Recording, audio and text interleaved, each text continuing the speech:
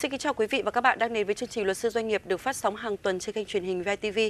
Thưa quý vị, Bộ Công Thương quyết định cắt bỏ 675 điều kiện kinh doanh, chiếm tới 55,5% trong tổng số 1.226 điều kiện đầu tư kinh doanh của Bộ này.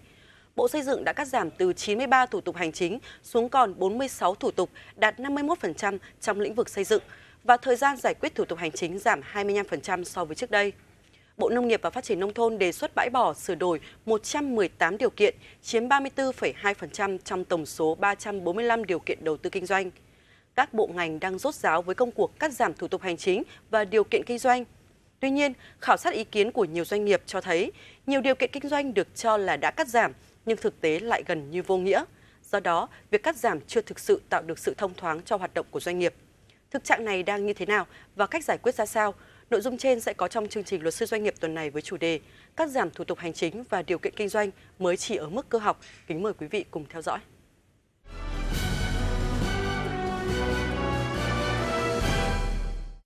Thưa quý vị, việc số lượng ngành nghề kinh doanh có điều kiện giảm từ 267 ngành nghề xuống còn 243 ngành nghề từng được coi là một quyết định đột phá của chính phủ – rồi tiếp đến là quyết định mạnh tay của Bộ Công Thương khi cắt bỏ 675 điều kiện kinh doanh, cắt giảm cao hơn dự kiến ban đầu 63 điều kiện, chiếm tới 55,5% trong tổng số 1.226 điều kiện đầu tư kinh doanh của bộ này. Và theo người đứng đầu bộ này thì việc xóa bỏ này chưa phải là cuối cùng. Tuy nhiên, trên thực tế, từ những ý kiến ghi nhận được từ phía chuyên gia cũng như cộng đồng doanh nghiệp, thì dường như những việc cắt giảm này chưa được như kỳ vọng, cắt mà như chưa cắt. Kính mời quý vị đến với tổng hợp sau của chúng tôi. Có thể khẳng định, môi trường kinh doanh Việt Nam đã được cải thiện trong hai năm qua, và điều này được minh chứng bởi rất nhiều báo cáo quốc tế. Thế nhưng, ở một góc độ khác, thì phần lớn các biện pháp cải cách lại hướng vào doanh nghiệp nước ngoài hơn là doanh nghiệp trong nước. Chính vì vậy, có chuyên gia đã nhận định, môi trường kinh doanh đang có đặc điểm là có sự bất bình đẳng đối với doanh nghiệp trong nước. Các giấy phép con vẫn hướng vào doanh nghiệp nội trong khi đó, các biện pháp cải cách được đưa ra lại phần lớn hướng vào các doanh nghiệp nước ngoài. Do đó, đã có những ý kiến cho rằng những động thái vừa qua của chính phủ và của các bộ ngành trong việc cắt giảm thủ tục hành chính và điều kiện kinh doanh chưa được như kỳ vọng. Và thậm chí đã có ý kiến cho rằng cắt mà như chưa cắt. Trước hết, hãy cùng nhìn lại.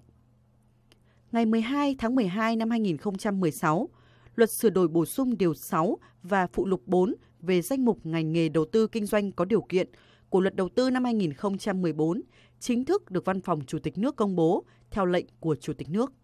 Chính thức giảm số lượng ngành nghề kinh doanh có điều kiện từ 267 ngành xuống còn 243 ngành. Việc danh mục ngành nghề kinh doanh có điều kiện giảm từ 267 ngành xuống còn 243 ngành nghề rõ ràng là một việc tốt. Tuy nhiên, trong đó thì bỏ đi khoảng 20 ngành nghề và lại thêm vào 15 ngành nghề. Tác động của việc thêm và bớt này như thế nào đến cộng đồng doanh nghiệp? Các ngành nghề thêm và bớt có cần thiết hay không? Hoặc nếu không thêm hoặc bớt thì có ảnh hưởng gì hay không? Trong số 10 năm cái ngành nghề mới bổ sung thêm vào thì có một điều rất thú vị mà có lẽ đây cũng là một cái bài học kinh nghiệm trong cái công tác xây dựng pháp luật đặc biệt về trình tự thủ tục uh, xây dựng các cái quy định về kinh doanh có điều kiện. Bởi vì thế này bởi vì trong số 10 năm cái ngành nghề mà mới bổ sung thêm vào thì có đến 13 cái ngành nghề mà hiện đã đã được coi là ngành nghề đầu tư kinh doanh có điều kiện. Vì nó đã có các cái luật mà được ban hành sau khi luật đầu tư có hiệu lực thi hành và các cái nghị định được ban hành trong cái thời gian 2 năm vừa rồi đã quy định nó là ngành nghề kinh doanh có điều kiện. Nhưng nó lại chưa có cái tên. Cái tên ngành nghề đó thì lại chưa nằm ở trong danh mục. Thế như vậy, bản, về bản chất là trên thực tế. Trên thực tế, nó đã là ngành nghề đầu tư kinh doanh có điều kiện, chứ không phải là là không có điều kiện. Như vậy doanh nghiệp đã kinh doanh đã phải đáp ứng tất cả các điều kiện đó. Rõ ràng, thực chất việc cắt giảm số lượng ngành nghề có phải là bước cải tiến như kỳ vọng hay không? Thì có lẽ nhìn vào những ngành nghề thêm vào và ngành nghề bớt đi sẽ có được câu trả lời rõ nhất theo tôi tác động là sẽ không lớn. Sẽ không tạo ra một cái đột phá. Đấy là việc đầu tiên. Bởi vì cũng có rất nhiều những cái ngành nghề mà chúng ta được bãi bỏ đi ở đây thì bản chất nó cũng không thực sự là là, là quan trọng. Tôi lấy ví dụ như trước đây có cái ngành nghề gọi là kinh doanh cây cảnh cây bóng mát cây cổ thụ trong rừng tự nhiên. Thì nay nay bãi bỏ. Nó không coi là ngành nghề đầu tư kinh doanh có điều kiện nữa thế thì như vậy chúng ta hình dung hay là kinh doanh dịch vụ uh, nhiếp ảnh hay là kinh doanh dịch vụ tổ chức lễ hội uh, dạy thêm học thêm vân vân một số cái ngành nghề thì như vậy những cái tác động của nó theo tôi là nó sẽ không thực sự là lớn và không tạo ra được chưa tạo ra được một cái đột phá À, theo ý kiến của tôi thì chắc chắn nó chưa phải con số tối ưu. Chắc chắn nó sẽ còn phải giảm nhiều nữa.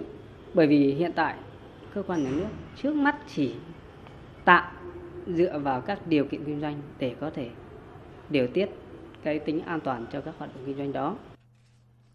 Tiếp tục bàn đến câu chuyện cắt giảm thủ tục hành chính và điều kiện kinh doanh, cắt mà như chưa cắt. Rõ ràng, việc cắt giảm có lẽ đang dừng ở mức dùng các cách thức hay tạm gọi là chiêu thức mang tính kỹ thuật để cắt về số lượng. Nhưng chất lượng của việc cắt giảm này thì còn nhiều điều cần phải bàn.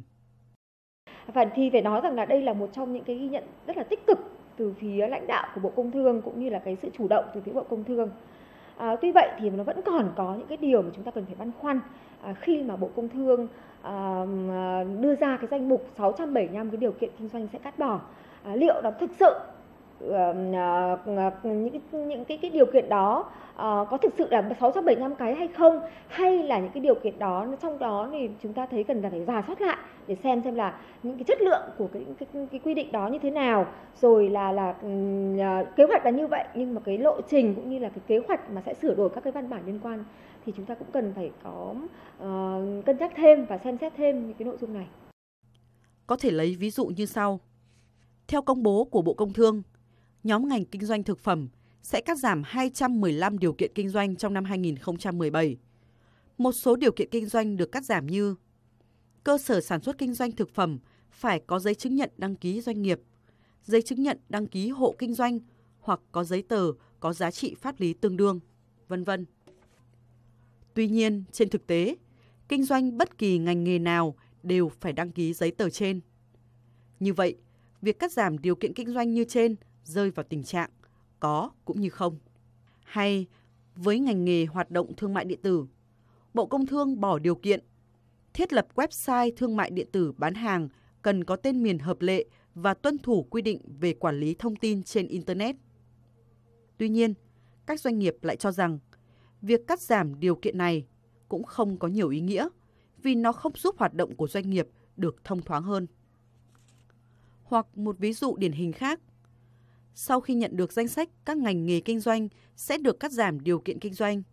Hiệp hội Doanh nghiệp Dịch vụ Logistics Việt Nam đã gửi văn bản đến Bộ Công Thương yêu cầu không xóa bỏ 5 điều kiện kinh doanh quy định tại Nghị định 140 năm 2007 ngày 5 tháng 9 năm 2007 của Chính phủ. Theo đó, Hiệp hội Doanh nghiệp Dịch vụ Logistics Việt Nam cho rằng Bộ Công Thương cần phải cân nhắc tính toán kỹ việc loại bỏ Điều 6 khoản 2 và Điều 7 khoản 1 trong Nghị định 140 vì việc hủy bỏ hai điều trên có liên quan đến Điều 235 và 238 khoản 2 của Luật Thương mại năm 2005.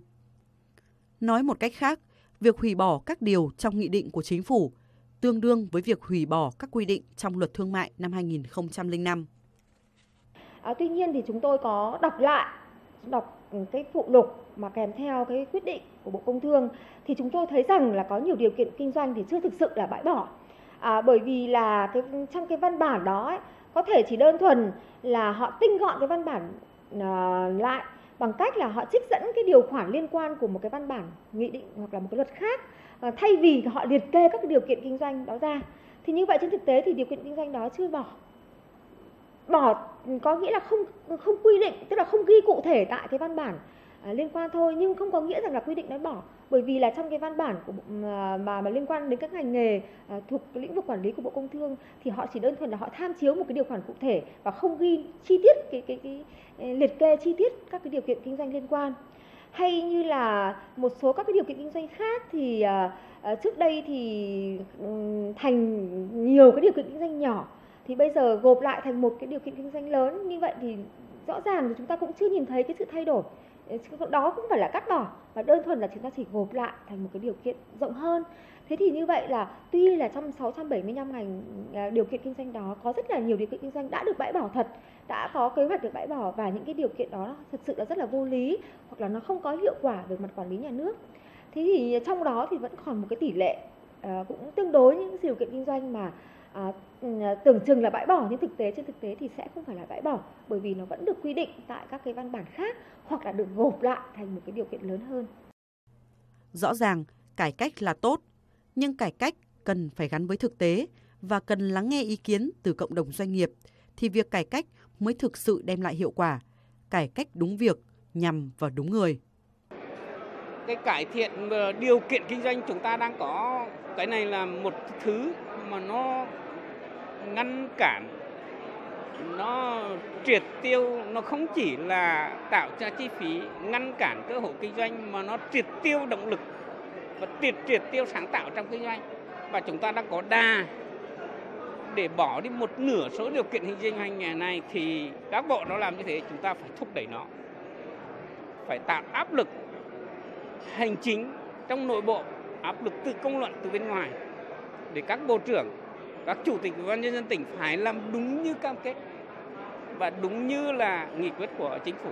Cái điều kiện đưa ra thì như mình đã nói trước là phải phù hợp với các doanh nghiệp nhỏ, doanh nghiệp khởi nghiệp và để cho họ có cái cơ hội họ từng bước họ lớn và trưởng thành chứ không thể nói bắt họ một cái là phải lớn ngay được bởi vì muốn làm được ngành công nghiệp ô tô không nên dựa vào doanh nghiệp liên doanh từ nước ngoài. Họ không làm được đâu, và họ không làm cho mình đâu, mà phải dựa vào chính doanh nghiệp của Việt Nam và con người của Việt Nam. Muốn làm được việc đấy thì phải để cho họ có cơ hội. Họ làm từ từ từng bước, họ đi lên. Chứ còn những cái doanh nghiệp liên doanh, họ vào đây, mục tiêu của họ là lợi nhuận, chứ không phải là cho, tạo cho người dân Việt Nam có một thương hiệu ô tô hay có một nền công nghiệp ô tô. Nếu chúng ta tiếp tục dựa vào những doanh nghiệp đấy, chắc chắn kể cả 100 năm nữa cũng không có mà phải dựa vào những cái doanh nghiệp của Việt Nam, con người của Việt Nam. Họ sống trên mảnh đất này, họ kinh doanh trên mảnh mảnh đất này. Họ thực sự có tâm huyết để cho họ từ từ từ từng bước họ lớn lên thì tin chắc rằng sẽ có nền công nghiệp ô tô. Cùng bày tỏ quan ngại về những cải cách chưa tới, chưa đem lại hiệu quả thực chất, chuyên gia kinh tế Phạm Chi Lan cũng đã bày tỏ quan điểm của mình. Doanh nghiệp lại rất sốt ruột vì cải cách chưa thực sự tạo ra chuyển biến, tạo đột phá sâu rộng. Hai năm qua, chính phủ mới tháo gỡ cơ chế thôi, chứ chưa tạo ra thuận lợi hóa. Nói cách khác là chưa làm được gì. Tháo gỡ còn khó khăn thì chưa thể nói là thuận lợi được. Hàng loạt các giấy phép con đang nhằm vào doanh nghiệp nội là chính. Các biểu hiện nhũng nhiễu của công quyền chủ yếu nhắm vào đối tượng doanh nghiệp nội. Các chuyên gia cũng nhấn mạnh, môi trường kinh doanh đang có đặc điểm là có bất bình đẳng đối với doanh nghiệp trong nước – các biện pháp cải cách được đưa ra hướng vào doanh nghiệp nước ngoài là chính hơn là doanh nghiệp trong nước. Và như vậy, các doanh nghiệp trong nước đang mong chờ những cải cách thực chất hơn và dành cho mình. Thưa quý vị, có chuyên gia đã nhận định rằng cái doanh nghiệp mong muốn nhất hiện nay không phải là việc chính phủ ra liên tiếp các nghị quyết 19, nghị quyết 35 về cải thiện môi trường kinh doanh, mà điều quan trọng là phải làm sao khiến doanh nghiệp yên tâm làm ăn, làm sao đối phó với chính quyền không phải là mối quan tâm hàng đầu của doanh nghiệp, mà đó phải là cạnh tranh với bên ngoài và tận dụng thị trường để phát triển. Rõ ràng, cộng đồng doanh nghiệp đang mong ngóng những cải cách đi vào thực chất hơn là những bước tiến mang tính hình thức. Kính mời quý vị đến với ghi nhận sau của chúng tôi. Rõ ràng, với những thực tế ghi nhận được từ phía chuyên gia, từ cộng đồng doanh nghiệp, thì sau nỗ lực cắt giảm điều kiện kinh doanh của Bộ Công Thương, mong rằng những cắt giảm tiếp theo của Bộ Nông nghiệp và Phát triển Nông thôn hay Bộ Tài nguyên và Môi trường sẽ đi đúng vào thực tiễn vướng mắc của doanh nghiệp, gỡ khó, gỡ khổ đúng nghĩa cho doanh nghiệp. Tất nhiên chúng tôi cũng chưa nói là 675 cái điều kiện đăng ký kinh doanh đã là cái cuối cùng mà chúng tôi vẫn sẽ làm trong cái tiến trình chung đó để giả soát chung. Thì báo cáo với bộ trưởng ờ, cũng ờ, kính những ý đồng chí là báo cáo lại với thủ tướng. Đấy là cái quan điểm xuyên suốt của bộ công thương. Chúng ta phải hình dung được cái câu chuyện giả soát điều kiện kinh doanh một bộ phận quan trọng của cái cái xây dựng thể chế và môi trường kinh doanh. Đây không phải là công việc làm một lần. Ít nhất chúng ta phải ý thức được đây là công việc phải làm định kỳ. Hàng ít nhất là hàng năm hoặc là 6 tháng. chúng ta thấy rằng là chúng ta đưa ra một quy định thì rất là dễ dàng, nhưng mà để bãi bỏ một cái quy định thì thực sự là một cái quá trình rất là khó khăn và chúng ta cần phải có sự thay đổi trong cái cách ừ, quản lý cái cơ quan và soạn thảo văn bản, cần phải có ý thức về trong cái việc cầu thị hơn à, lắng nghe hơn những cái ý kiến từ cộng đồng doanh nghiệp. Thì cũng mong chính phủ phải ra những cái điều kiện rõ ràng phải làm sao cho doanh nghiệp lớn cũng thực hiện được doanh nghiệp nhỏ cũng thực hiện được. Và nếu các nhà chính sách mà cứ dùng cái biện pháp bảo hộ như vậy năm 10 năm nữa mà không ngành công nghiệp ô tô không phát triển được không làm được mà thuế vẫn thu cao người tiêu dùng vẫn phải chịu giá xe cao thì yêu cầu những người soạn chính sách phải chịu trách nhiệm trước pháp luật, chứ không thể nói là các doanh nghiệp mãi cứ phải chịu cứ phải chịu gò bó, cứ phải chịu chính sách như thế để cống hiến cho mấy ông doanh nghiệp liên doanh. Ông vào, ông làm lãi xong, ông chuyển lợi nhuận về nước họ, xong rồi mấy năm nữa ông lại kêu khó lắm. Cụ thể là thì trước đây họ vào họ xin lắp ráp. Họ bảo sẵn sàng đến năm 10 năm nữa chúng ta có công nghiệp ô tô đến nay họ kêu khó lắm, không làm được, xong họ xin nhập khẩu. Thì bây giờ chúng ta lại cho điều kiện cho họ. Thì vài năm nữa họ ông bảo thôi, chúng em cũng khó lắm, không làm được thì chúng lại xin một cái bình sữa mới. Vậy thì người dân Việt Nam phải chịu đến bao giờ? Vấn đề là có nhiều điều kiện hay ít điều kiện dễ bàn và dễ giải quyết. Và đó thực ra không phải là vấn đề. Mà vấn đề chính là gì? Dù có ít điều kiện chăng nữa nhưng mà các cái cơ quan nhà nước các cái cán bộ thừa hành trong cơ quan nhà nước cơ quan quản lý nhà nước khi giám sát khi cấp cái các cái đăng ký kinh doanh thế rồi thì khi thanh tra khi kiểm soát ấy, gây nhũng nhiễu gây phiền hà không cần thiết. Điều đó mới là điều quan trọng. Và đấy mới là cái điều tạo nên cái sự bức xúc thật sự của các doanh nghiệp, chứ không phải bản thân các quy định. Tóm lại, ở đây là cái vấn đề là cái thái độ hành xử của phía các cái cơ quan quản lý nhà nước trong cái hoạt động hàng ngày của họ để cấp phép, để giám sát, để thanh tra. Và cái vấn đề đấy chưa giải quyết được thì nó còn cái câu chuyện là cực chẳng đã là cứ phải dạy giáp tất cả các cái điều kiện uh, uh, kinh doanh đi thì cái giải giáp cái điều kiện đó thì thực ra nó dẫn đến những hệ quả khác. Thì có lẽ cái mà cải thiện mà để mà mà vừa là uh, giải quyết vấn đề trước mắt vừa có thể cái lâu dài thì chúng ta khung khổ thì chúng ta lấy chuẩn mực quốc tế. Và trong hành động cụ thể thì chúng ta hãy nhìn những vướng mắc nhất nào của doanh nghiệp những bức xúc nào của doanh nghiệp à, chúng ta tháo gỡ nó. Bởi vì chúng ta cũng phải khẳng định một điều chúng ta không thể chạy theo thành tích để đơn giản là để lấy cái thành tích chính trị để nói là tháo gỡ khó khăn cho doanh nghiệp bằng mọi giá. Mà chúng ta phải cân đối và đảm bảo được những cái yêu cầu của đất nước trong cái quản lý nhà nước và nhất là trong giai đoạn hội nhập này. Hội nhập rất sâu và rộng chúng ta đều phải đảm bảo được cái hiệu quả đó, chứ không phải là là chúng ta buông lỏng cái thị trường trong nước, chúng ta buông lỏng cái chất lượng sản phẩm để rồi chúng ta nói là để tháo gỡ, đấy là để phục vụ cho tháo gỡ khó khăn cho tiếp theo chương trình như thường lệ là mục tư vấn pháp luật.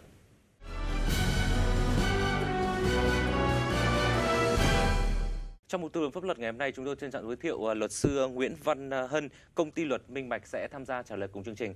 À, vâng, xin kính chào luật sư. À, thưa luật sư, sau đây tôi xin đọc nguyên văn câu hỏi để luật sư tư vấn. À, một bạn bạn tên là Trần Gia Linh ở Bắc Ninh có hỏi công ty tôi đang thực hiện thủ tục tách giấy chứng nhận đầu tư ra giấy chứng nhận đăng ký doanh nghiệp. Vì luật mới bắt công ty này phải có song song là hai giấy, nhưng khi nộp hồ sơ họ yêu cầu khi đi lấy giấy chứng nhận đăng ký doanh nghiệp thì phải nộp thông báo thay đổi mẫu dấu phụ lục số 29 thông tư số 20. Luật sư cho tôi hỏi là công ty của tôi không thay đổi mẫu dấu, vậy có cần phải nộp giấy này hay không? Kính mời luật sư tư vấn ạ. Vâng. À, thưa bạn là thứ nhất là công ty bạn đang thực hiện cái thủ tục à, tách cái à, giấy chứng nhận đầu tư thành hai giấy, một là giấy chứng nhận đăng ký đầu tư, hai là giấy chứng nhận đăng ký kinh doanh.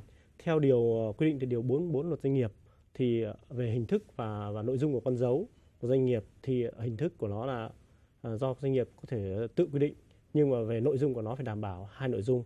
Một là tên doanh nghiệp hai là mã số của doanh nghiệp. Hiện tại thì uh, con dấu hiện tại của, của công ty bạn nó đang là ở trên đó nó chỉ có tên doanh nghiệp và cái mã số giấy chứng nhận uh, đầu tư thôi. Nên theo quy định tại điều 44 luật doanh nghiệp thì bên bạn phải đổi thực hiện thủ tục đổi con dấu để uh, phù hợp với quy định điều 44 luật doanh nghiệp này nghĩa là trên đó sẽ có tên doanh nghiệp và mã số dinh của bạn. Đấy, trong trường hợp này thì ờ, bạn sẽ phải thực hiện thủ tục thay đổi con dấu. Còn về trường hợp là nhưng khi nộp hồ sơ thì họ yêu cầu bạn là phải à, à, à, nộp theo, kèm theo cái thông báo thay đổi mẫu dấu. Tôi nghĩ là cái đoạn này thì bạn phải uh, có thể là hỏi lại ý kiến. Bởi vì theo quy định của uh, luật doanh nghiệp thì bạn sau khi bạn cấp giấy chứng nhận đăng ký doanh nghiệp sau đó thì bạn mới phải thực hiện cái thủ tục là uh, đăng ký cái, cái thông báo cái sử dụng con dấu đấy thì ờ, sau đó thì khi mà đăng ký thông báo thì bạn có thể thông báo đến sở um, sở quyết đầu tư phòng kinh doanh hoặc là bạn có thể uh, làm trực tiếp trên ờ, cổng uh, cổng thông tin quốc gia về đăng ký kinh doanh đó là đăng ký kinh doanh.gov.vn. Mục tư vấn pháp luật đã khép lại chương trình luật sư doanh nghiệp tuần này của chúng tôi. Cảm ơn quý vị đã dành thời gian theo dõi chương trình. Quý vị có thể xem trực tuyến hoặc xem lại chương trình tại website www.vitv.vn hoặc cập nhật qua Facebook của kênh truyền hình kinh tế tài chính VITV. Còn bây giờ xin kính chào và hẹn gặp lại.